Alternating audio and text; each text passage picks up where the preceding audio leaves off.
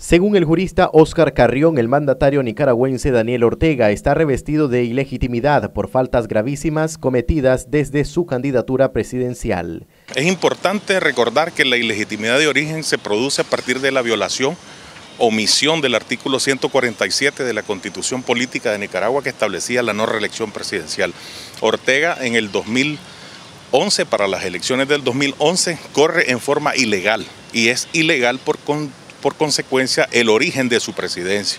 Pero también estamos insistiendo en la ilegitimidad de, eh, en relación al voto popular. Es decir, además de que no debía lanzarse para la reelección, Ortega no alcanzó los votos suficientes como para tener una legitimidad popular, sino que recordemos que en 2011 hubo una gigantesca abstención de aproximadamente 70%, solo el 30% votó y de ese 30% él supone haber sacado 63. Eso lo desnuda completamente de ilegitimidad popular. Y ahí llevamos dos ilegitimidades. La de origen porque nunca debió lanzarse como candidato y la ilegitimidad popular porque no está revestido del respaldo mayoritario del pueblo. Carrión explicó que este caso que se encuentran documentando traería más beligerancia en la comunidad internacional para aplicar medidas diplomáticas contra el gobierno. Hay una tercera ilegitimidad que estamos eh, señalando y construyendo un estudio jurídico amplio, que es la ilegitimidad de ejercicio. ¿Cuál es la ilegitimidad de ejercicio?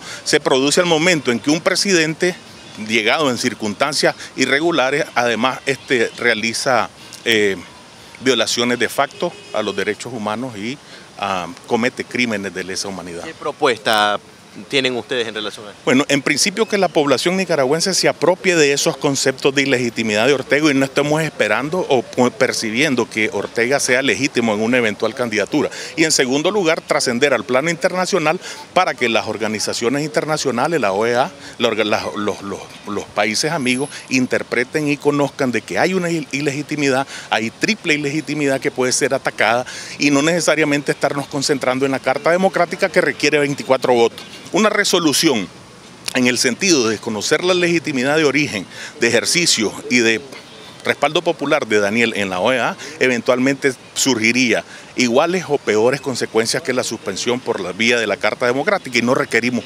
24 votos. Marcos Medina, Noticias 12.